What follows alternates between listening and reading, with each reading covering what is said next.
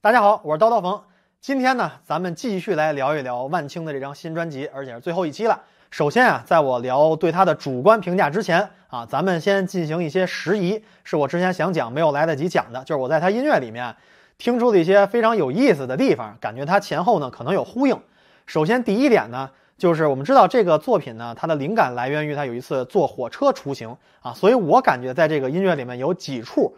都是有这个火车的影子在里面的，比如说在《采石》这首曲子里，在它最后的这个制作的音效就非常像。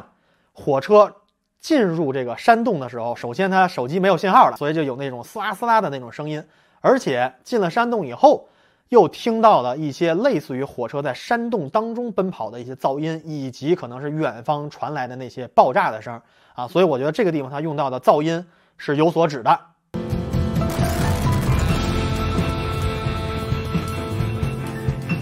另外呢，在河北莫麒麟这首歌里边。五分三十三秒左右的地方，它的这个长音，在我听出来就非常像火车汽笛的这种声音。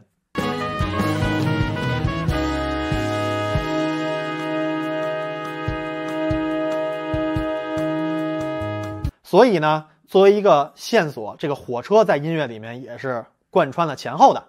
那么在河北莫麒麟里面呢，其实莫麒麟是《封神演义》里面九天应元雷声普化天尊。文仲文泰式的坐骑啊，它有点类似于马，但是它它不光是马了啊，所以呢，在这里它是一个动物啊，所以在这个呃河北莫麒麟这首歌里面的七分十一秒左右，弦乐演奏出来的这个声音，在我听来就非常的像马叫啊，或者就是这一类的这种动物吧啊的这种叫声，所以可能也是呼应一下。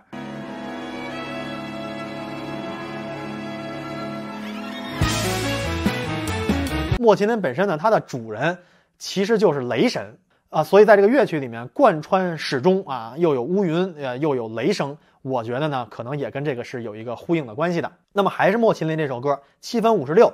他在背景里面有一个男声唱的一个比较呼喊的这样一个声音，听起来呢有一点像蒙古长调的这种唱法。当然了，它不一定准确的就是蒙古长调，但是呢，啊，它表现了人们心中的这种呐喊，这种啊相似的情节、相似的情怀，它是有的。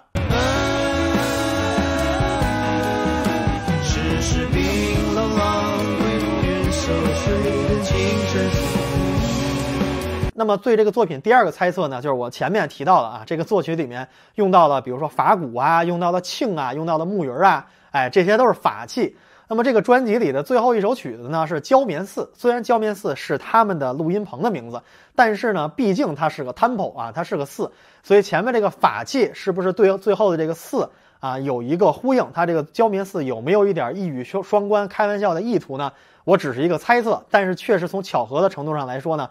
前面它确实用到了法器。那么第三个猜测呢，就是他的新专辑其实和他第一张专辑也是有呼应的，比如说他在《采石》里面就有一个节奏用到了，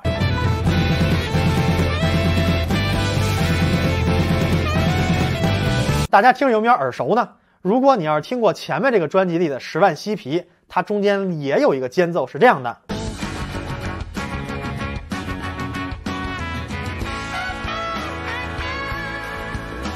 大家可以听出来吗？它的节奏是完全一样的，所以呢，它是不是一个真正的刻意的 callback 啊？这个可能只有作曲的人他能够给咱解释了。但是从听觉上感受来说呢，我认为这是他留给我们的一条线索，就是和他第一张专辑有所呼应。那么猜测四呢，就是有也有网友啊在网上讨论说的时候是说他的歌词其实和第一张专辑也有 callback，第一张专辑里还是十万嬉皮说了前已无通路，后不见归途。那么最后在这个焦棉寺在第二张专辑里的最后结尾的地方啊，人把这事儿给你解决了，就是西郊有密林，驻军出重围啊，你这个没有通路到这儿你就可以找到了出口啊，所以。啊，这个是不是也是和第一专辑是一个 callback 呢？仁者见仁，智者见智啊。但是啊，确实给我们留下了很多值得思考的地方。好，那么在最后呢，我再说一下我对这张专辑的主观上的评价啊，还是说到我们音乐人他的最终极的追求。之前已经提到了要新的元素，还提到要有更大的作品。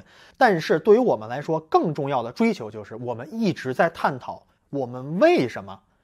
要写音乐，音乐它存在的意义是什么。当然，可能很多人觉得音乐嘛，它就是一种娱乐的形式作为娱乐这个东西，它是很容易被淘汰的。以前可能有音乐有歌曲，我们后来就有了电影，大家肯定会觉得电影比音乐来说来的更直白，它的这个容量可能更大一些，所以这个就对音乐作为娱乐的这个功能就会有一定的冲击。但是再到后来有了电子游戏以后，它本身对电影也是一个冲击。啊，所以可见呢，如果你只把它当成一个简单的娱乐的话，它是很有可能被未来新的娱乐的形式所取代的，所以这是一个很危险的。那么，什么样的意义能够使音乐或者使绝大多数的艺术持续延续下去？我认为，就是它的价值，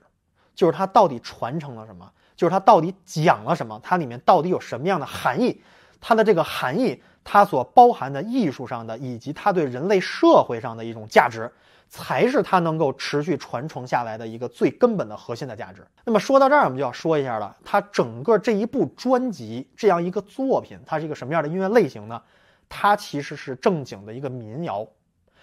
大家可能有的时候会对民谣啊有一定的误解。民谣它的英文呢叫 folk music，其实民谣是从哪来的？民谣是在民间传颂的，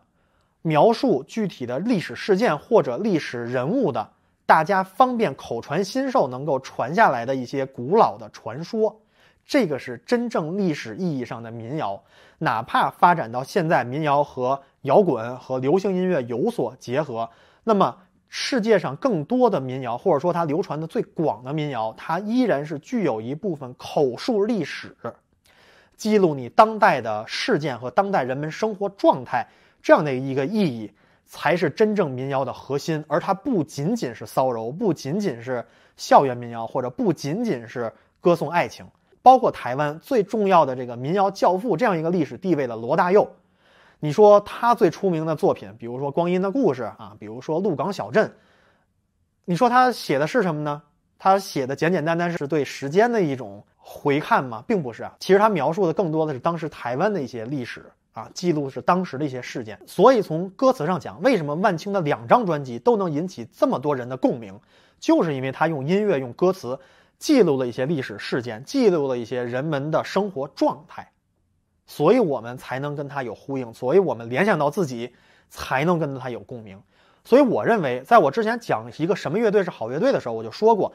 啊，和其他所有的什么技术啊，和你各个方面整齐度啊什么的比起来啊。人设是最重要的，但是大家不要误会我，我说的这个人设不仅仅单单说啊，我就是来搞笑的啊，或者什么我就是来严肃做音乐的，不是这样的。我所谓的人设，从更广义的来说，其实是说音乐人对音乐的态度是什么。那么你在做音乐的时候，能不能持之以恒秉持着你这个态度，并且你的人生的价值观和你的音乐态度是不是也是一种统一？只有你做到这一点。你才能够通过音乐来传达你的内心世界，才能够感染到你的所有的听者。所以我觉得从这个方面来讲，万青他给我们带来的音乐里面的价值，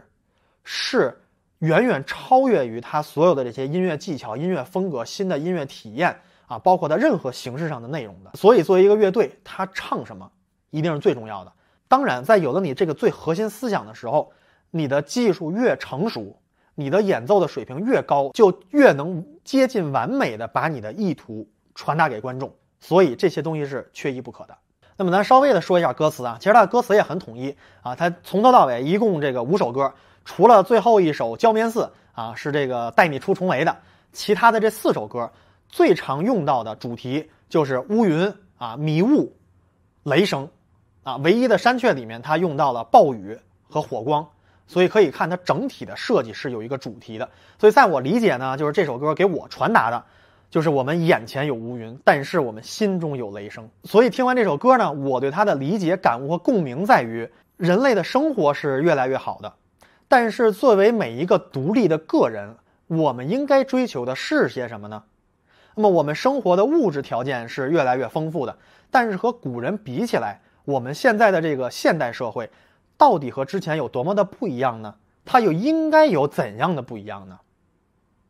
当然了，您也可以把它理解成，如他所说是现代社会和原始村落的一种文化的冲突。您更可以把它理解为是对环境保护的一种呼唤啊！一千人心中有第一千个不同的哈利波特，不知道您心中的哈利波特长啥样？那么最后呢，我再来谈一谈，我如果我听到万青下一张专辑，希望不是十年啊，会对他有一些什么样的希望？第一点呢，就是作为乐手本身，我们所有人的技术都可以在不断的提高，包括我自己，不不针对任何一个人。包括我上传的所有我的演奏的视频，其实我在每次上传的时候，我都清楚的知道我在技法上还有哪些地方能够更好的提高，我还能把它打磨的更精致一些。所以我觉得这是我们所有演奏者、音乐人共同追求的一个目标。那么第二点呢，就是从细节的处理上，比如说我有时候会听它的时候啊，它有渐强的时候就容易速度偏快一些啊，渐弱的时候呢就容易速度偏慢一些。当然了，这也是所有音乐演奏者。一个非常容易有的一个通病，而且你也很难说它是不是真的是这么设计的啊？它是为了让在强的地方更高亢一些，所以速度更快啊，然后在这个更慢的地方呢，它情绪更低落一些，所以更速度更慢啊。这个很难从主观上去判断，我也不从主观上去判断，只从听感上来说有这样一个听感。但是呢，如果它主观那么设计也是可以的。那么第三点呢，就是我们可以看到啊，第一张万青的专辑，他基基本上就是他自己乐团的这几个人。那么再到这张专辑里呢，他就合作了更多的艺术家，而且这些艺术家呢，也把他们自己的这些艺术上的背景和理念和一些不同的风格，很好的带入了万青的这张新的专辑里。所以，如果万青的下一张专辑出来的时候，我也非常期待万青能够更多的拓展和更多的中国最顶尖的这些艺术家进行合作。我也很期待看他们能够有更多样的一种突破。所以总体来说呢。无论是从作曲、编曲，还是从作词上来说，啊，这张 CD 作为一个完整的作品，都是一个非常值得人们去细细品味、一遍一遍去细听、去琢磨的这样一个专辑。这也就是我为什么没有在第一时间就把这个节目录制出来，因为我也是花了大概一周的时间，每一首详细的去听，每一首详细的去分析。但是呢，我依然觉得我只听了一周，在这个专辑里面有更多的细节，我是不可能在这个短时间之内。把它全都挖掘出来，展现给大家的。所以我也非常希望大家能够在我的视频下，能够积极的、善意的，我们讨论，我们一起来交流，看看能不能在这个专辑里面能听出更多宝贵的东西来。好，那么我三期对万青新专辑的解说就到这里。今天的叨叨风聊音乐呢，也先跟大家先聊到这里。如果您喜欢我的节目，欢迎您订阅、分享、评论、点赞。我们下期再见。